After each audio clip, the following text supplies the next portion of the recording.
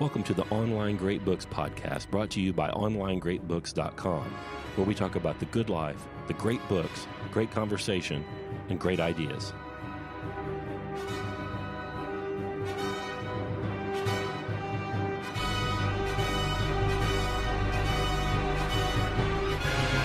Hello, dear listener, and welcome back to the summer edition of Online Great Books Podcast. I'm Brett, the producer.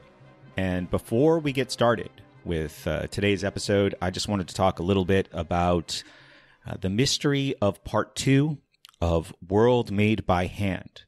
Ironically, technology failed us, and we simply did not have the files for the second part of the show. We could not find them anywhere.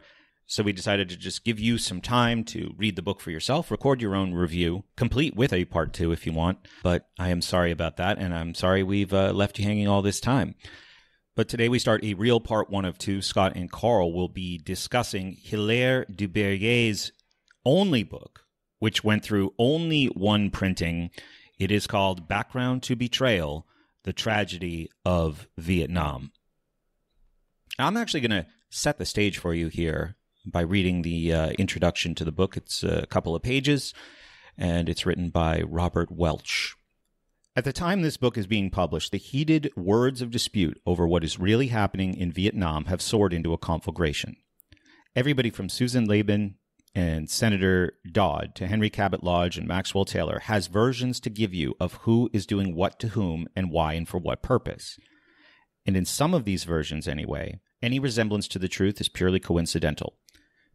This book, however, is not concerned primarily with the present tragedy in Vietnam. Its subtitle is The Tragedy of Vietnam, which indicates a far longer perspective. The carefully staged managed horror now being acted out in that unhappy country is of great interest because of the undisclosed purposes for which this fraud is being perpetrated and prolonged. But this volume is history, not conjecture. It was the destruction and demoralization of anti communist groups and leaders in South Vietnam already carried out by the end of the Eisenhower administration through the regime it had imposed on the Vietnamese people, to which the current confusion is but an epilogue. And regardless of whatever whole new tragedy this confusion may be intended to serve in turn as a prologue, the author of this book is simply attempting to make clear the background to the total betrayal. It is apparent to anybody who will study all of the antics on this stage with prerequisite knowledge and objective vision that communist influences are pulling the strings and determining actions on both sides, exactly as we now know to have been the case with the Korean War. And it is entirely possible that a repetition of that sham on a far more extensive scale with far more serious aspects and results might be in the making. And from there, I will turn it over to Scott and Karl. This is part one of their discussion on background to betrayal. Thank you for listening. Thanks for your time and attention. Take care. I'm Scott Hambrick. I'm Karl Schudt. And today on the Online Great Books podcast, we are going to cover a book that has not one name in it that I will be able to pronounce correctly. yes, apologies to everybody. Uh, yeah. It's just not going to happen. It, it, the book uh, is Background to Betrayal The Tragedy of Vietnam by Hilaire du Berrier. I'm pretty close on that one. Um, but it's about Vietnam, so there are a lot of Vietnam, Vietnam, Vietnam. There you go, Vietnam proper names in here that I am going to chow up real bad. This is a very interesting book. Uh, it was it was in the Americanist Library. Hmm. It went through, as far as I know, one printing in 1965. It's hard to find, mm-hmm. but you can't uh, find it. It's on archive, archive.org. archive.org. You can find it. Yeah. A few other caveats. Not only will I mispronounce all of these names, probably won't even attempt to pronounce a lot of them. We've taken in uh, Charity's granddad that's Haskell, and he's 87, and he's in the next room. And I told him that we're going to do this, but if he decides that he can't hear Marshall Dillon on Gunsmoke well enough, he's going to turn it up, and you guys may get to hear a little Gunsmoke. So uh, uh, that's the well, way it is over here. I have moved my, I have moved my podcast setup into the house. It was in the in the barn. So, uh, beloved spouse has taken that office from me mm. in a flanking action uh, she took it, and so I've got a setup here in the house. So I have some kids that are supposed to be homeschooling, and they might pop in. Yeah. Uh, so there you go. And I also want to ask. So I want to ask the audience. So this is a new microphone. It is still a Shure microphone, S H U R E. It's the MV7, and it has some settings. I have it on the dark setting right now. Here is the natural setting, and here's the bright setting. So uh, you could, well, you know, if you sign up with us, you can. Co- I only want comments on the Slack. I think. Well, I'll, I'll make one right now. I'm not even going to put it on the Slack. The bright setting is a no go, man. No good. No, it's no. All right, back to dark. There you go. This week, background to betrayal. Uh, yeah. So that this is this is a terrible book. Why did you make me read it? Oh it's not terrible. God. It's a good book, but it's it's terrible. I have. Um, well, first of all, how are your chickens? Uh, well, we have uh, 15 of them. They Mhm. are doing okay. We changed out their uh, pine shavings today. Big and gave doings. them, gave them fresh stuff. Yeah, so we started with 14. One of them came, unfortunately, was injured either going into the box or during the mailing because they can mail chickens, if you didn't know that. And uh, so one of them didn't make it and is uh, uh, entombed somewhere on the property. Hmm. So we went to Tractor Supply and got another one. Got a, a little leghorn. Uh, she's cute. So we got like multicolored eggs. So we'll know which ones are hers because hers will be white. Yeah. yeah, it's it's fun. Uh, you know, I was in the in the store yesterday thinking I could get more chickens Yep. and uh, trying to Collect them all. resist that temptation. Yeah, Yeah, we've got. I'm it. new at this. We've never done this before, so uh, we're hoping to get eggs, lots of eggs. Yeah, never have too many. Yeah, I went and picked up 70 uh, broiler chickens this morning at the post office. They I all saw the picture. they all made it, and um, we moved all of our young layers out the other night, and uh, cows are getting fat. So I've got seven cows, three Indian girls, about 30 laying chickens, 70 meat chickens, and an old man here. The the old man is not a food crop though. No, not yet. We'll see how bad it gets. Yeah, I'm excited. Uh, I know this is not the uh, what's that other podcast you do? This is not the Growing Resilience podcast, Right. but I'm very excited because my hoe is coming in the mail today. Hmm. Yeah, yeah. I, I'm getting a new hoe. A Hmm. new hoe instead of my my old cheap hoe. A new hoe with interchangeable parts. It's the Never Neversink tools. I think it's called the Mutineer. Yeah, it's a wire hoe. Yeah, I was watching a video. He's that Conor Crickmore. He's he, he's like, you have to have a no weed farm. Well, how do you do that?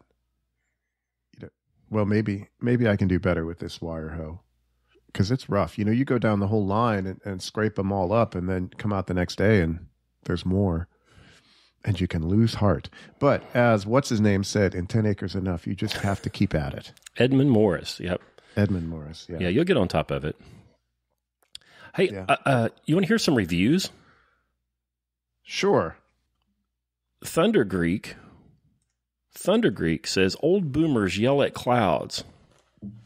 Have you read that? Have you read I'm not this? a boomer. no, I'm not a boomer. No, I haven't read that one. Only a millennial would think that we might be boomers. He says, when they keep a discussion to the book at hand, they can sometimes be thoughtful and invoke other books they've read. This is rarely the case. Most of the time, they diverge the discussion to modern politics and what's wrong with the city slicking kids these days. Their political lean can be described as center right. I'm far right, dude. You're you couldn't be wronger. I am far right. You should see my haircut. Or as they like to say, old school liberal. I'm not an old school liberal. So I imagine if one is a listener of that lean, they would really enjoy their cynical outlook on modern society. I would really like to hear their pitch on how a modern society should function based on their depth of knowledge. However, of them to d- dismiss any works after 1900 for the progressive outlooks gets rather dull. I understand the importance of Aristotle, but if you can't meaningfully apply his principles to modernity because chattel slavery is gone, then save your breath. They love to describe themselves as non boobers and poking fun at that generation without introspecting how their perspective pretty well aligns with their targets. This guy is just a lunatic. What what's his name? Thunder Greek. Thunder Greek. Uh, hi, Thunder Greek. We're not boomers. It's not a boomer outlook. What would the boomer outlook be?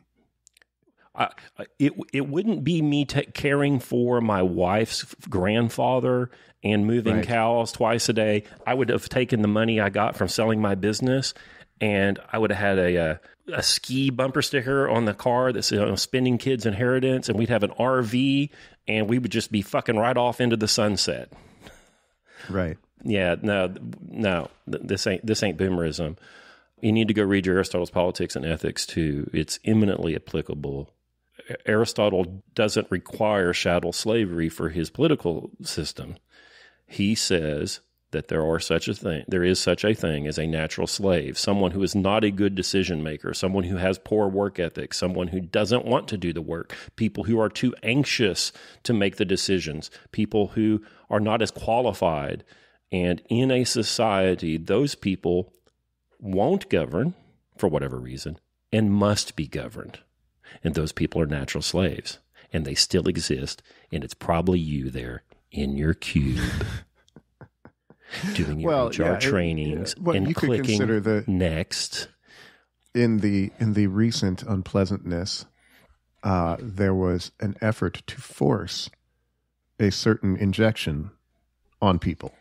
Okay, and the people promoting the pushing of the injection would think that those who were anti-injection are lacking practical reason. In other words, they're natural slaves, and therefore their jobs need to be held hostage, and their military service needs to be held hostage, and their ability to travel needs to be held hostage to letting the government inject them with something.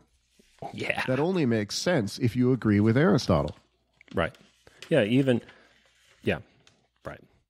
But thanks for listening. Thanks for listening. Yeah, but then we've got some really nice ones. Um, Victor E77 says that this is uh, this is a great podcast, a best kept secret. Says we're doing important work, and uh, uh, Jaquizzle says he's been listening to Scott uh, since he was with the Barbell Logic pod, uh, podcast, officially known as Uncle Scott and Uncle Karl, and he truly feels like they're we're friends, um, which is odd since he hasn't met us in person.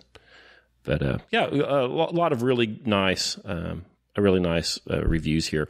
Here's one that's interesting. Giving good grades is the name of the user. Don't know about that. It says excellent show. One hour episodes are the way to go. Check out the ones about unrestricted warfare, pride and prejudice. Dean Koontz, all of them. Ooh, I like those three. Yeah.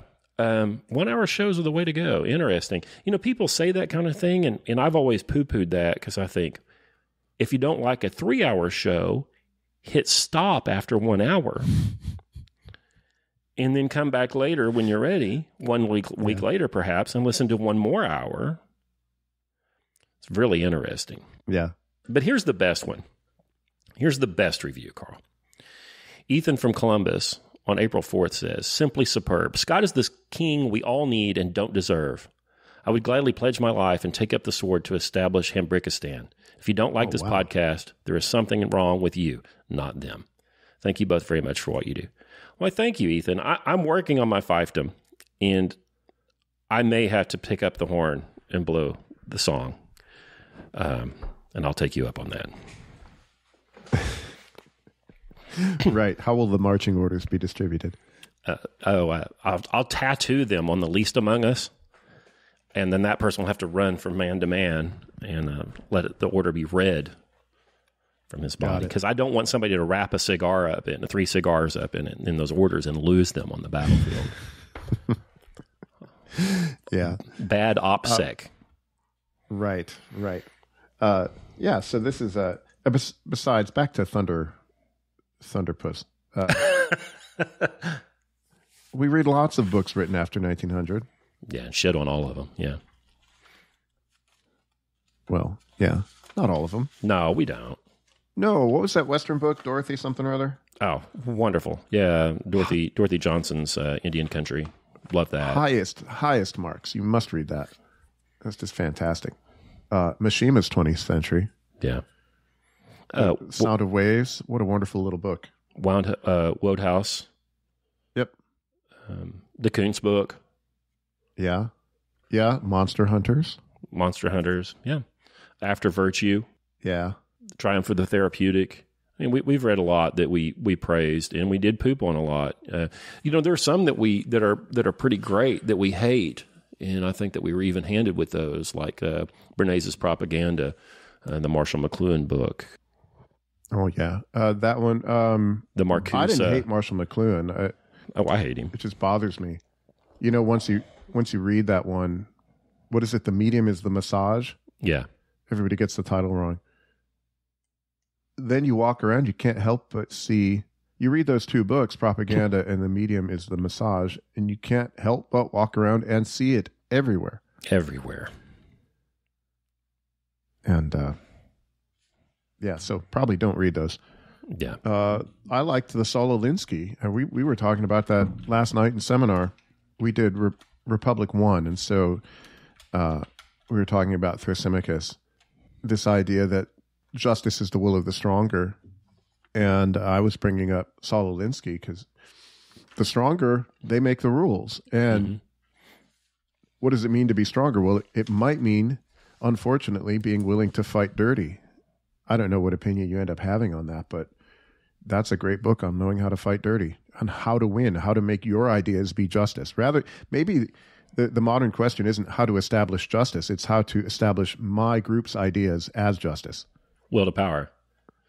Yeah. Yeah, it, yeah, we're certainly in, a, in an era where you know winning doesn't matter.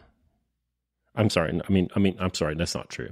Convincing the other people, you know, evan- political evangelism is irrelevant at this point. You know, it's only you know what can you actually do? What can you enact on your behalf? It's all all will to power. It's good times. I've been spending a lot of time with the revisionist historians, Karl. Mm. Would you call Hilaire du Berrier a revisionist, revisionist historian? I don't know because what history did I ever get of the Vietnam War? It's very little. All we ever talked about were the, the protests against it. Uh, we never really covered it in my education, so I don't know what the dominant view is. Yeah, I think the dominant view has been whatever pop culture has given us about it. You know, the montage or the the the Hueys flying over the rice paddies with the stupid Creedence Clearwater Revival song playing over the background. You know, picture of some you know hippie putting a daisy in the in somebody's M1 barrel, some stupid Neil Young shit, and then you know cut to the last Huey leaving. You know, the embassy in Saigon, and then they tell us we lost. But we lost. We lost because of. You know, that's the question. Why did this lose? What? Well, Why did it start? Why even be there in the first place? Right. Which is what this book is about. This book is published in 1965, so most of it hasn't even happened yet. Yeah. There's a million names in this. I think he probably could have used an editor to clean it up a little bit and make it a little more coherent. He goes back and forth in time. He could have done better. A million names, some of which I know. And it's a confederacy of dunces. You read this, you will be very frustrated. You might see parallels to present day. I certainly did. Of State Department and academic people who think they know what they're doing. And what they're doing is experiments with nations. This is not like so the, the mad scientist does experiments in his lab, but the only things that, that are harmed by it are bacteria in a dish. Well, the political class, they do experiments and then what did we have? How many thousands of dead of dead Americans did we have for this? 52,000? I don't know. Something Yeah. like that. Yeah. Oops. Uh, not counting dead Vietnamese. Do we count dead Vietnamese? McNamara did. Yeah. Uh, is McNamara the one that had the sub IQ battalion? I think so. Well, McNamara was the Secretary of War. He was Secretary of War for seven years, and I think it was all under LBJ. Um, he had been president of the Ford Motor Company and was maybe the first quant one of the first, Alfred Sloan is probably another one, who managed uh, as an information manager, a person of the information age. He was dealt, you know, he was he was handed this quagmire in, in Vietnam, and then had to figure out some way to manage it. Now, if it's Europe in 1944, you can manage it in all kinds of ways. How do you measure your progress? Territory that you have liberated, material that you have destroyed, perhaps, but mostly, uh, uh, you know, have we taken Paris back yet? Have we reached the Rhine? Have we taken Berlin yet? You know, it's it's about territory. Vietnam wasn't about that, so he was he had to find a way to figure out if they were doing things right. There was no front in the way that we're normally we normally think mm-hmm. of since Westphalia or whatever. So, you know, what's he going to do? body count. That's about all he can do. And people say, well, we lost that war. We didn't. We, we killed somewhere between two and three million Vietnamese people. Now, at the cost of around 50 yeah. million, uh, 50,000, 50, I think it's 52,000. Uh, I don't want to discount, you know, any one of those lives, but the the the de- the kill to loss ratio is astronomically high, and even if you don't trust McNamara's numbers, pretty efficient, you know, in that way. The problem was, well, I think, that that that the the goals were not proper, but that's not the scope of this book. that's a lot of killing. I that's sure a lot of they killing. had a good reason. Gosh, we're never going to get to this book. I've been thinking about this a lot, Karl. You know, this book starts around 1938, something like that. Like you said, he, he goes back and forth in time. You know, it's kind of hard to track the chronology here, but it starts prior to World War II uh, when this was French Indochina, and before then it was Cochin China. Vietnam is really no more of a country than Ukraine is, sorry. But by the late 30s, the French are starting to act in a colonial way there, and, they have a strong presence there. World War II takes place. At the end of World War II, colonialism is being unwound across the across the globe um, for the worse, in my opinion. The Portuguese are losing their colonies. The Belgians are losing their colonies. The Germans, the Dutch, the English, the French, the Americans, it, of course, didn't lose theirs. Um, and, and Marxism was very popular in the Third World. Very popular in the Third World. Contemporary to this book here, there are like 50,000 Cuban soldiers fighting the ANC in South Africa. Mm-hmm. America was in in danger of this is in my opinion in danger of becoming a republic in a sea of Marxism because it was so popular in the third world. You know, people people wear their Che t-shirt and I don't know, they they think that's the height of aesthetic and it's cool, but that was real South America is still basically Marxist, except for uh, El Salvador and, and, yeah. maybe parts of Chile. Africa is mostly Marxist still. Cuba is. You know, the third world was going Marxist. And, you know, eventually, by the time you get to Kennedy and Lincoln, I think they thought, we need to fight this somewhere. Now maybe you know they talk about oh you know we need to stop the Marxist and we're gonna we're gonna we're gonna stop you know Red China and Russia here in Vietnam. No, I don't think that was the point. I don't think that was the point. I think it was we need the third world to know that if they flip Marxist, they're going to pay big. It wasn't about Vietnam, right? We could have done it in like the former Rhodesia, but somewhere I think the the architects of our foreign policy in the mid '60s said the third world needs to know if they flip Marxist, two or three million of them are going to die because the United States doesn't want to be a republic in a sea, an entire globe completely covered with Stalinism and Marxism. Do you buy that? In the end, I'm not sure how much it all matters. I'm not sure there's a material difference, and this will see this would anger all the boomers if I were to say this. Okay, I'm not sure after all of this year, all of these years, all of this bloodshed, that the net sum of personal liberty in the so-called free world is higher than the personal liberty in the non-free world. Right. I don't know that it's made any difference. But you know, a whole lot of dead people, a whole lot of war. Um, I want to read some quotes here. Uh, so this Robert Welch in the introduction. This is what page is this? Oh, I don't know. It's in the introduction Yeah, it's uh, it doesn't even about have what a the book number. is about. So Robert Welch is saying it was the destruction and demoralization of anti-communist groups and leaders in South Vietnam, already carried out by the end of the Eisenhower administration through the regime it had imposed on the Vietnamese people, to which the current confusion is but an epilogue. Okay, so uh, Ho Chi Minh was active in the 40s. In fact, we equipped him, which is interesting. He was our guy. Ho Chi Minh is the communist leader of North Vietnam. You should know, boys and girls. Uncle Ho. Uh, Yeah, there were anti-communist groups in country. This is the thesis of the book. Like, there's this pirate kingdom. I can't pronounce any of the names. This pirate kingdom that runs all the gambling, and then there's uh, a couple of religious sects that are anti-communist.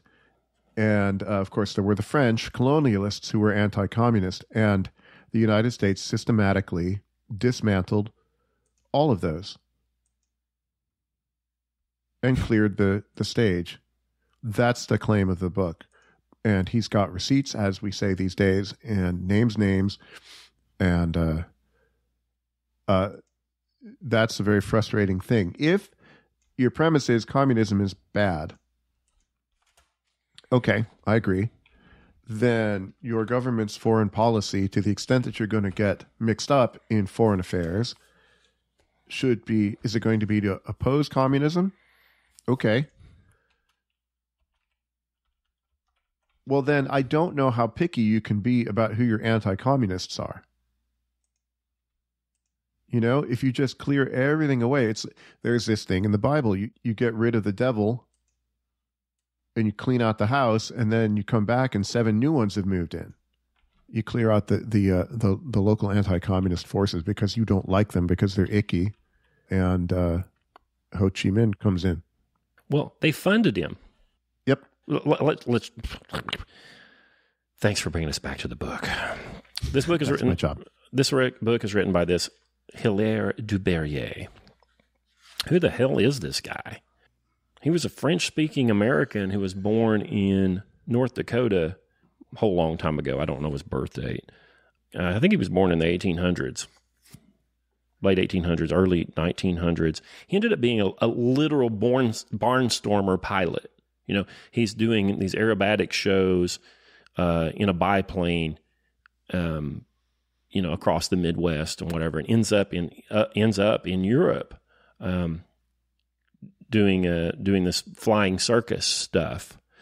Um, he spoke French, and he ends up in Paris um, to spend some time with one of his uncles there, and just ends up being this globe trotting adventurer.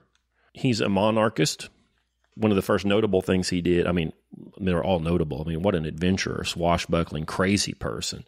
But one of the first, you know, political acts he did, he did was uh, he in the 30s he found his way to Ethiopia to support the king of Ethiopia against Mussolini's Italian forces that were taking Ethiopia. He was made a prisoner of the Italians in 1936. This guy's fighting fascism and fighting World War II before anybody's fighting it in 1936.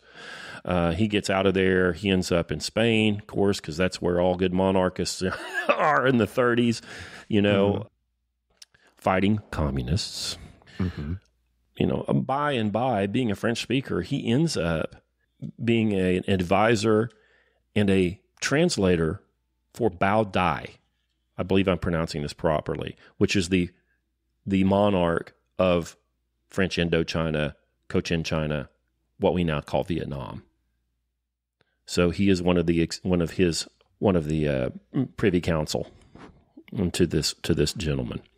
So he he is there through the 40s and the 50s, saving documents. He was there in the room during a lot of these conversations. You know, you said he's got the receipts. Like he literally has the receipts. Just recently, his personal archives were handed over to a trust, and uh, there are tens of thousands or hundreds of thousands of pages, boxes and boxes and boxes of documents relating to this era in Southeast Asia. Uh, Yeah. s- somehow this guy is like a freelance diplomatic corps person. Very interesting, but this man was there. Uh, this book was printed by the Americanist Library, what was under the imprint of the Americanist Library, but it was printed by Western Islands in Belmont, Massachusetts. And all of these are organs of the John Birch Society. The foreword is by Robert Welch, He was the founder of this John Birch Society. Yeah. So, you know, right wing wing nuts. But it doesn't mean that it's wrong. It might mean the opposite. Do people even know what John Birch Society is now? Probably not. You want to help them Oh, you go ahead. Uh, John Birch was supposedly the first uh, American killed by the communists. He was a missionary. I think he was a Catholic missionary in China, and he was captured and killed by the Red Chinese. Robert Welch, who made his money in can- candy, started the John Birch Society to fight communism. Everybody has heard about McCarthy and the Red Scare, which come to find out after the fall of the Russia or the United uh, the USSR, when we became uh, when we got access to Russian or I'm sorry Soviet era documents, we found that virtually every assertion that he made as to the infiltration of communists in the press, in Hollywood, et cetera, was correct. That's something that you can even look up. I did. I found this out in high school. I did a paper. I did some papers on Soviet Russia. You could dig it up. They said all of this stuff. It was public. It was no secret. Right. You know, it, it was it was no secret. The Russians told you what they wanted to do. The Soviets, pardon me. Yeah. And then It's they not did it. identical with Russians. Yeah, I kind of liked it. You know, they were honest. Yep, yep. Uh, so the the John Birch Society was um was and still is uh, dedicated to rooting out the communists in in the United States. And in 1968, 69, William F. Buckley, who became the sort of de facto leader of the right wing of the Republican Party, I was going to say right wing. The Republicans are not right wing of the Republican. You know, I don't know zeitgeist, whatever. Uh, legendarily read out the John Birchers. Uh, I think it was at the 1968 Republican Convention, and they became by and by marginalized and uh, treated like uh, spooks and fools. But you know, time has shown that virtually all of their allegations were correct. Of course, you know now we know that Buckley was probably you know CIA, a CIA spook himself, uh, a weird closeted guy. Uh, I mean, there's all kinds of stuff about him that is suspect, but uh, through his influence, the right, the you know we, you know, starting in probably 1965, um, the United States came under you know basically uniparty rule. And You know, he John was a Birch's- harpsichordist. of course, he was. And you know what they say about harpsichordists? Oh, there's, I don't. I don't know. Just, There's got to be something, right? they're just a little better than the piccolo player. Yeah. All right. So in uh, so back to the text. okay. So I'm I'm still giving the the sketch here. So in 1954, the French lose their war to retain Indochina. Indochina was what the French called it on May 7th, 1954 at I can't pronounce it. Dien Bien Phu. Is that Yep. close enough? Yeah. And so this is Hilaire du Berrier saying, uh, this is on page IX in the book. It was established that a one hour strike by American planes could have saved the beleaguered garrison and changed the course of history. On five separate occasions, such a strike was discussed, but each time reasons were found to rule out American rescue from the air. Vetoed by John Foster Dulles, the U.S. Secretary of State under Eisenhower. So we could have stopped the fall of the French colonial uh, empire in Indochina, but we didn't. We chose not to. Let's see, page X, page 10. We get the French out. Said Mr. Dulles, a year will be enough for us to train the South Vietnamese government and army to take over and be on their own. That was the plan. So when I'm talking about people doing experiments on nations, probably the motive is that colonialism is bad. And certainly French colonialism is bad. You know, not necessarily American colonialism, uh, but French colonialism is bad. So we want to get rid of them. And then just an over optimism that the people that you're dealing with are going to do what you want. You know, uh, nowadays we call this this is what a neocon is, right? Like Teddy Roosevelt or Bill Kristol. You know, this is we will export democracy. We will install regimes friendly to us, as if it's easy. Mm. You know that which it, it's fine. We'll just go in. We got the bright people in government. They know how to do this, and uh, we'll just make it happen. It's very frustrating. There's a a paragraph later in here which is very I'm not going to be able to find it, but it's very telling to me. So let me see it. Let me see if I can find it. Page 92 of my PDF copy. This is good pod, isn't it? I don't have a physical copy of this. So this is on page 78 of the actual book. If the reader's head is swimming as he peruses the descriptions of these ministers of government with their strange names, let him pause for a moment before he puts the whole confusing business out of his mind as not worth the effort for that is just what the men to whom American conservatives looked for information did for nine long years while South Vietnam rotted. Skip down to the bottom of the paragraph. But the men and publishers to whom thinking Americans looked for sound information would not make the mental effort to familiarize themselves with the area and its leaders so that they could do an intelligent report. So the book's confusing to you. It's a whole bunch of names you don't know in a language you don't know. They all sound the same to me you know, it's it's to me, it's 15 people with the same name. Uh, and I'm trying to keep them, track of them. So my temptation is to get frustrated and say, and just group them together in a category, which I think is the big mistake. You know, we can make the South Vietnamese like we like. No, no, you might be able to make uh, this guy like you like, or these particular people, or maybe some of the Catholics in South Vietnam. You can get to do what you want, but you can't make the whole country do it you don't even know who's there. You know, I find I don't want to talk about modern things too much. You find similar things going on now. I mean, who of the the Twitter warhawks even knows anything about Russia or Ukraine? They don't know anything about it. Mm-hmm. Oh, sure, we can do this. Of course, we can do this. Well, you don't even know who the players are. It's like trying to play chess and not knowing the difference between a pawn and a queen. Well, is too much trouble. They all look alike. I read that. I got there, and because I I was my. He says if the reader's head is swimming, mine was. Yep, and me too. He yelled at me. Yeah, that was a perfectly placed paragraph. I I, I wrote next to it self-aware. Like he he knew how difficult the book was to read. But we read it so you don't have to. but you could if you can find a copy for five hundred dollars on eBay. Dien Bien Phu. There was a French garrison there. I think there were about 14,000 French soldiers there. And they were besieged by Ho Chi Minh's Viet Minh. We ended up, you know, fighting the Viet Minh until 1975. Of that embassy being evacuated. Helicopter on the roof. Yep. First memories of news. You know, it's not like I was there. Yep. And some air support in 1954 would likely have ensured that uh, Ho Chi Minh's forces would have been destroyed. If you look at the casualty numbers and the outcome of that battle, while the 14,000 French that were in garrison there were de- were defeated, they were only barely defeated, and in doing that, they had essentially destroyed Ho Chi Minh's forces in in toto. The French, given time, could have reinforced. The Americans were there; they could have supported them with their support, and that would have been the end of uh, Ho Chi Minh's uh, military forces. But no, but no, but no, but no, but no. So moving on to chapter two, page 13.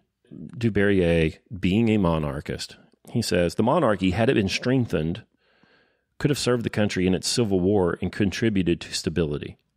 Now, even if you're not a monarchist, I think that any fair analysis of the Civil War in Vietnam would have agreed with that because the Vietnam the, the Vietnam War was a civil war, maybe fomented by us. I don't know, but um, the North and the South were under two different regimes, politically very similar, actually. Diem's regime in the South is totalitarian and only not communist in name. Diem is our guy. Diem is the guy that we put in power. Our- Our second guy, because we funded Ho Chi Minh originally too. So, Oops. um, oops. No, no matter no whether you're a monarchist or not, I think it's clear that a traditional monarch could have at least contributed some stability and put some of the um, taken some of the heat out of the Yeah. damn thing if that monarch had been supported. Now, even if that monarch had been supported in exile by the French or the Americans, the French tried. Um, then, then I think that could have been a stabilizing force, especially when you see that early on in the conflict, the players were swamp pirates and strange religious sects in addition to these puppet regimes supported by China or the United States. So those those other players, the swamp pirates, etc., I think could would have would have benefited enormously from having their emperor his reign intact. the way it can work so here in the united states the sovereign and the head of state are the same person which is a problem because when your guy's not in all of your feelings of patriotism tend to fade because if you don't like the guy and he's the public face of your nation uh, then it's just a whole bunch of ick if you have a a an emperor especially one that's off living in in france he's the head he's the sovereign and represents Vietnameseness, if there is such a thing. Then you can have other people fighting it out, and maybe you like Diem or you hate him, but that doesn't take away your devotion to your country. It separates the two. That's one of the one of the things that uh, democracy loses if you don't have someone who's the guy that represents the place. If that makes any sense. Ha- having a monarch unites the nation and the government. Yeah. Into one thing. Ideally. Americans are not the same thing as the United States of America. Sorry. Yeah. Yeah, so he he talks about the, the efforts that had been undertaken by various outside players to undermine Bao Dai, and then on 14 he says, as, "Had as much effort been directed to strengthening Bao Dai as was employed in ruining him, and with him the monarchy, a strong Vietnam directed by a premier heading a broad-based popular government might have wielded." Welded the disparate groups into a solid front against the Reds. Bao Dai could have been replaced by his son Bao Long, again, this is my last apology about hmm. name pronunciation. We just got to plow forward here. Under a regency headed by Bao Dai's wife, the Empress, giving given independence after the war with Ho Chi Minh and guidance not primarily committed to the establishment of a socialist republic, the dynasty might have survived and in time regained its force. It was never given that chance. Yeah. Well, why didn't we? Well, du Berrier doesn't treat of the motivations, but I believe that this is a continuation of World War One and its sequel. I believe that World War One was basically about destroying the last of the European monarchies. There were some folks that didn't like that, and then we had a sequel, and then we had to turn to the third world and then uh, clear them all out of of their market uh, monarchies. Thailand retains them. There are a few. There are a few small monarchies out there, but I think that was I think that was the motivation there among the, the American foreign policy wonks. I think I think it's I, I, it, it's inscrutable. Their actions are so contradictory and so insane that their knowing their motivations is impossible. And there's not one motivation. There has to be a motive. Uh, I think it's probably. we need to read about French stuff more, I think. Oh God. I don't want to. French Revolution, Oh, no. Napoleon. I think Yeah. it's the continuation of the French Revolution.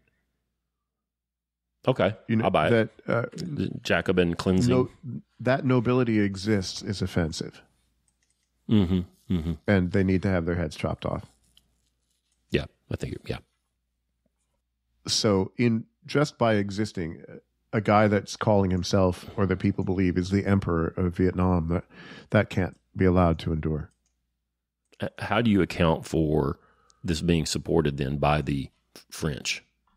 Because the French, while they were a colonialist power, supported Bao Dai's monarchy mostly. Well, if they were The French had been, they had been there since I think 1858. Yeah. Yeah, if if they had uh, wanted to administer their colonial territories well, they would want it to be stable, Right. you know, rather than uh, chopping everything down. So, if you actually wanted to, uh, it's like, okay, I don't, I don't know if I have any roosters yet. I hope I got one. I hope I didn't get two because the, the hatchery we bought from ninety percent are supposed to be hens, pullets. Well, they'll do better if they have a rooster. They'll be happier. Well, what if I, in principle, am opposed to roosterdom? You know that that I think that roosters are because you know they're they're bigger and they're beautiful and they're violent and uh, but I have a a theo I have a near theological r- reason to reject roosters, and then I just kill the rooster. How Hmm. does the flock do? But it doesn't matter. I don't care about that because I have decided that the rooster must go. You know, so if I've decided that there shall be no kings, that there shall be no official nobility, then it doesn't matter what good effect it has, I'm going to get rid of it. I think that might be the motive of American foreign policy it, in 1950s and 60s. We can't have that. Colonialism is Yeah. bad in itself. Well, unless, you know, it's Guam, Puerto Rico, Philippines, you know, American protectorates. That's cool because we call them protectorates. We don't call them colonies. Right. Uh, or even states. Yeah. Yeah. You can play the game and say, well, gosh, they're being hypocritical. But I, I- don't think it matters. I don't think they see it that way. Okay, it's a very great temptation. I'm trying to figure out the motive for this myself. It is a very great temptation, one of the worst, to consider yourself as being on the forefront of history, on the right side of history. The right side. Yeah. So you get to be the liberator. Hmm. I'm not sure when it started, but you get to be the hero of the story. You're the one that uh, is on the side of the poor, distressed peoples of the world, and you can bravely wade in uh, by voting for intervention in Vietnam. You can wade in and help the poor people, and then you become the savior. Okay, it's kind of an inversion of Christianity. You become the savior. Well, you, you need more and more people to do that with. Well, okay, so there's Vietnam and it's it's groaning under this colonial monarchist Mm. dictatorship and I get to go save it, you know? I was born too late. I couldn't I couldn't fight for the North in the Civil War. I couldn't I wasn't there in Germany to uh you know to to free the oppre- those oppressed by the Nazis. But here's my chance to be on the right side of history. Hmm. How's that? How'd I do? Pretty good. I mean, it's as good as anything. I mean, because you know, I, I've read about this, and I've done a you know in this book, and I've made a study in other places as well since reading this book. And this is all this shit's inscrutable, man. TLDR, will to power. It is will to power, but it's what are you trying to do with your power? What is it that makes you powerful? Hmm It's not random violence. It's not setting up a, a, a castle on your property or anything. It's going somewhere else, breaking their stuff in the name of liberation. Right. Yeah, the stories that we Uh. tell ourselves are important, I think. Page fifteen. Back to the text. What of this emperor whom the entire American press tore to shreds in the spring of 1955? Cartoonists sneered at him, and men supposed to be supplying news tore at him with a savagery never applied to Stalin. No one attempted to tell the story of the foreign educated young son of heaven who returned to his country at the age of 18 to reign and learned that his job was to sign papers. prepared by petty civil servants whom he despised. I think the modern American would read that and say, well, who the hell does he think he is coming, showing up at 18 thinking he's going to reign? Well, that had been the order there for a thousand years. Mm-hmm. That's who he thought he was. He, he had actually resigned his whole life, whatever his desires were or could have been, didn't matter. He had to take the, fa- the job that his great, great, great, great great grandfather had set in, and all of them before him. That was his duty. And, you know, it's hard for us to imagine this because, you know, we were told that we fought, you know, to get rid of George, King George. You know, all the old folks in Vietnam expected him to and wanted him to, but he wasn't able to do it. Uh, he was later he was later accused of being a Japanese sympathizer. The guy was slandered at every turn in order to undermine his in, undermine his government and his authority. He was accused of being a Japanese Japanese sympathizer during World War II, where it seems though he was the monarch of a weak country in the in the over and over and over again in the face of overwhelming military forces who had to just try to find a way to keep his people intact and to maintain what influence he could as their representative. And over and over again, he's excoriated for this. Ho Chi Minh, that's right at the end of World War II, has you know come to power, and he actually sent Bao Dai to um, the north to parley with the Chinese, and this was a chance for Bao Dai to actually escape the country where he knew that he was in danger he jumped on a plane and went to Nanking. General Marshall there of the Marshall Plan was there to talk to Chiang Kai shek. According on the bottom of page 18, and there are copious footnotes here and, as well, and appendixes, appendices. Uh, Marshall was there at that same time to talk to talk to Chiang, Chiang Kai shek and to convince him to take Reds into his government. Marshall was actually there to get communists into the Chinese government. He aided and abetted the Mao, Mao's revolution. But but I thought the United States was anti-communist. Americans are, but the government isn't. This is the world's oldest communist country. Mm-hmm. Yeah, it, it's frustrating. You know, you read, you hear this stuff, and you think, "Oh, there goes Hambrick again." This is just, this is internet wingnut stuff, and then you check it out, and you read the sources, and it's true. It has not been United States foreign policy to fight communism. It has been United States foreign policy to fight colonialism. Yeah, it's true. Which are different things. Right. So I, I think that people of good faith in the United States government might wish to fight colonialism in order to make sure that the countries of Europe had um, restricted access to, to raw goods, wealth, and so on, in order to keep that level, that playing field level in Europe, so that it didn't burst into flames again. I can imagine a quote unquote right wing or you know Republican or even an America First non-interventionist, you know, taking that stance. You know, we don't want France to have the rubber and the other natural resources from Southeast Asia because we're trying we're trying to prop at this point we're trying to prop Germany back up. Like we we burned Germany to the ground, but now we're trying to prop them back up because they're our first defense if World War III breaks out.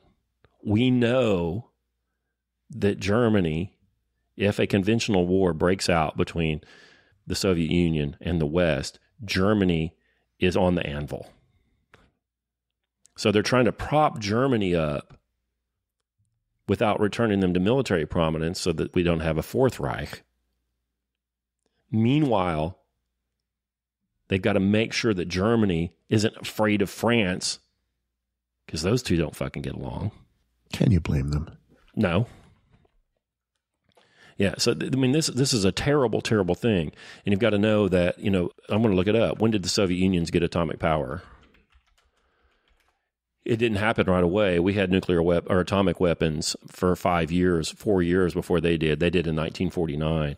So there was a wor- worry for a while about a conventional war in Europe in which case Germany's the the new I don't know not Maginot line, the Siegfried line. It's the Soviet line. I can imagine that maybe colonialism would be a threat to a flat, non-antagonistic European order that would have to be united against a Soviet threat which is still more of this bullshit because we funded them and gave them General Motors trucks and tanks and Lend Lease and underwrote their World War II victory. So, you know, mm-hmm. we created that monster. Yeah, seems to be a theme. Yeah, the frustration with this book is the inability, the incoherence of American foreign policy. I mean, the Byzantines did this for a thousand years with reasonable success, able to play people off other people, but the United States seems not to be able to. And it, it doesn't seem like they knew what they were doing. He's got a summary on page 28 of the book. du Berrier has a summary. Uh, on June 26th, 1954, at the age of 54, Diem went home to take over and America's responsibility started. Okay, so we installed him in power. Ten years later, on June 22nd, 1964, black headlines proclaimed the degree of our success from the newsstands of New York. Showdown in Asia, screamed the Journal American. We move up a Marine division, and for nine of those ten years, the Journal American, along with the rest of the news media of America, told its readers we were winning. Okay, so you put the spoiler in so you can understand what's going on in the book. Diem and his brother end up dead, probably by suicide in a bunker in 64, I guess, 63 or 64. 64, I think, yeah. It's a disaster. And we did it. But for all of that time, because he was our man, everybody was being told what a great person he was and how strong he was and what a good government there was in South Vietnam.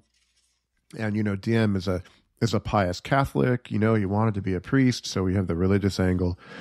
Uh, his brother was, in fact, the Archbishop of Saigon. That's interesting. Well, he goes up and sets up a personal family dictatorship. He set up a monarchy.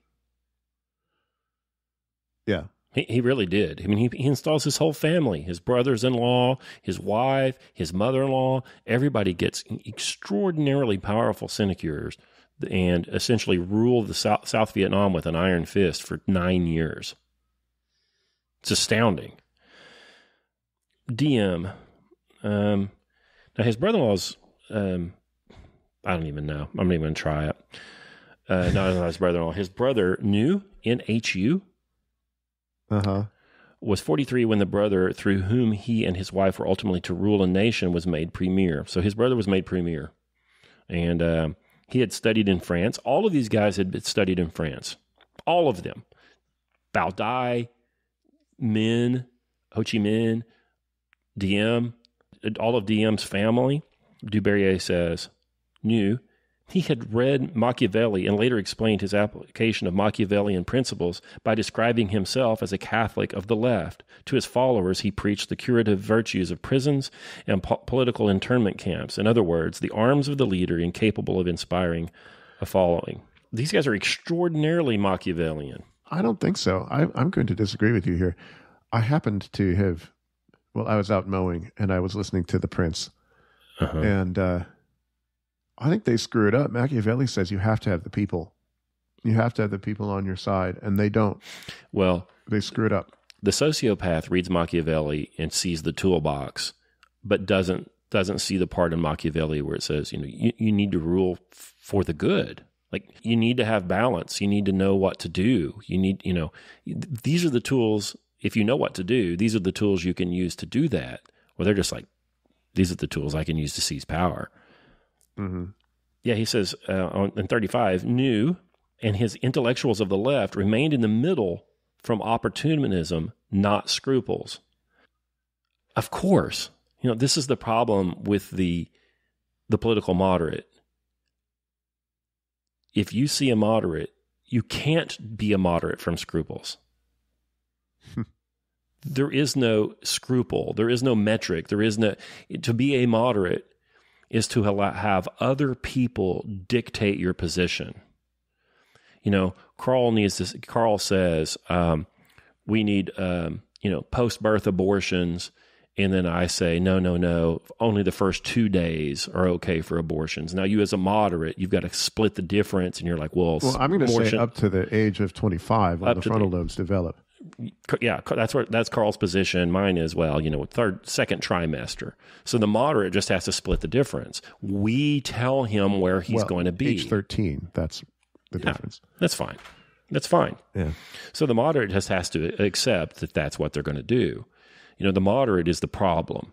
And if you see a moderate in political discourse, you know, if your if your neighbor's a moderate or you're a moderate, you're probably just, you know, kind of being lazy or you might even be a coward. But if you see somebody that has actual political power that says they're a moderate, you know that person is not scrupulous, scrupulous. And you should be very wary that they remain in the middle from opportunism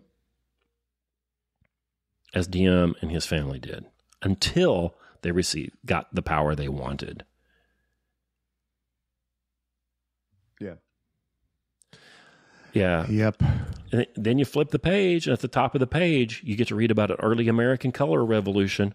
It was the policy of American labor to organize native unions in the colonies of our allies and to push the entire push the native union as a revolutionary political force. When the European power granted independence under American governmental pressure, brought about by the other hand of the same unions, the right of the union leader to head the nation was claimed on the assertion that he had won independence. Considering the double role of American labor in these operations, the claim was justified. In former colonies where a monarchical form of government existed, the next move was invariably against the throne, also in the name of democracy. Thus, the labor leaders supplanted the king.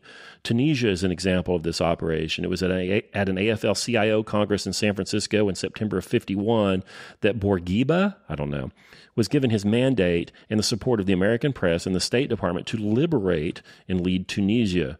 The Moroccan dynasty temporarily escaped the same fate th- um, through the popularity of Muhammad II, but the days of the monarchy were numbered. Yeah. The hate- This is the plot of uh, that. Isn't this the plot of the first James Bond book? The bad guy's a labor leader. Yeah. Yeah. Uh, Interesting. The hate campaign against the Emperor Bao Dai, which a perusal of old newspapers and magazines discloses, merits study now that the heat of the moment is past. The goal was simple to create a socialist world, you create socialist nations. Hmm. And these unions were glad to help do that. By the way, now he says, I can't remember where it is in here. I could dig and find it. He says, What exactly were they unionizing? There was no industry in China. It was an entire fiction. It was all smallholders. It was the they called it the rice bowl of Asia or of the East, rice bowl of the East. It's all small smallholders cultivating their own land. There's nothing to unionize. It's a complete fiction.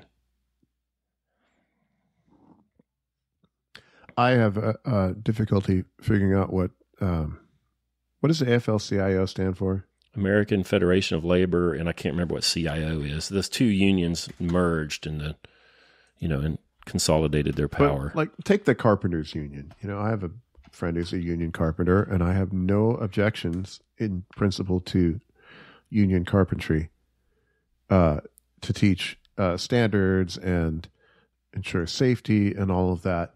sure. Why does a union care about promoting leftism, communism? Why, you know, what does the, the local carpenters care about what's going on in Indochina? It's the Congress of Industrial Organizations, the CIO. Ah. I mean, it's it's similar to the medieval guild, which is a bunch of people getting together to set prices and standards and training and and to keep out. I mean, they do want to keep out uh, other people, but are they going to get involved like undermining the monarchy in Spain? Is that the goal of a guild? I've got a friend, uh, a good friend who's a union electrician. You know, for those guys, it's great. They provide training, standards. You know, you know that if you meet another union journeyman electrician, that he's at least this good. you know, Mhm. you're going to be safe working with him. uh, union shops are going to be safe. For them, it's great. But then you see and hear that there are these other organizations that set up these unions and then they extract funds from the CIA and from their members to do political action in Tunisia, in South Africa, in Cambodia, in Vietnam. So my poor union electrician friend, you know, his monies are being used to subvert, you know, governments all over the world. You know, if unions did what they were supposed to do, that'd be awesome. I'll tell you what, here in Oklahoma, we need a drywallers union because those guys ain't worth a shit. They're in a they're in a drywall man in Oklahoma, as far as I can tell, that can even pass as competent. Well, there you go. There's opportunity. AFL CIO. No, stay the fuck out of here. They'll overthrow, you know, the Rogers County Sheriff. No, no, no, no. Well, no, they Get behind they me. Over, they have to overthrow like Illinois. Oh, okay. Just go to mess with those. They already did. What are you talking about? Re-overthrow it. Oh, okay. If you re-overthrow it, you it gets back to normal. If you overthrow it twice, right? Maybe. I don't know. The, the pendulum swings ever leftward, Karl. I'm sorry. Then it's not a pendulum. It's a spiral. Yeah. So by 1954, Diem is the guy. And we start to see here on chapter five, which is titled The People Thwarted. Who are the people? Well, it's both. It's the American people and the people of Vietnam he's talking about are being thwarted. An American group, this is almost too much. I, I'm not going to be able to get this right because all of these connections are too much. You know the meme of Charlie from uh, It's Always Sunny in Philadelphia in front of this board with the pins and all the yarn, like, you know, showing all these connections. And he's, uh, we would need 20 of those boards to show all of this, all these connections and how this all works. But it's in the book, Background to Betrayal. Go get it. I'm going to read a couple of paragraphs here, and hopefully we can kind of see how these organizations crop it up. Lieutenant General Iron Mike O'Daniel, head of the American Military Aid Advisory Group, was an all out partisan of the Ngo Dinhs, Diem's family. I don't know how to pronounce it. From the moment of Diem's arrival, he forgot the main purpose of his mission. Strengthening Vietnam against the communist power to the north was the least of O'Daniel's worries. Eventually, he left the army and returned to America as Diem's heavy artillery in the greatest public relations campaign ever launched to sell America a liability. So, this American military, this general, left the military and then essentially became a lobbyist and a public relations officer for Diem's government. What did that pay? We'll never know. More will be said later of General O'Daniel and Colonel Edward Lansdale, the political officer who was dispatched to help Diem strangle his opposition. So the United States government dispatched this United States colonel uh, to help Diem deal with his opposition.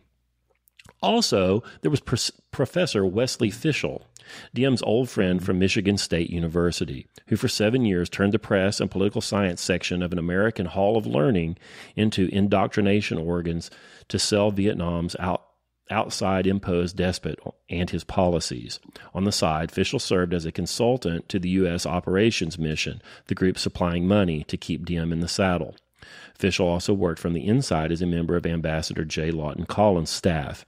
It was the practice of this American team, as Southern discontent mounted, to divert the storm from Diem's head by running a local popularity contest against the French by resurrecting old grudges and directing popular anger against the late colonialists. In Vietnam, it met with limited success. In America, far from the scene, there was no voice to contradict them.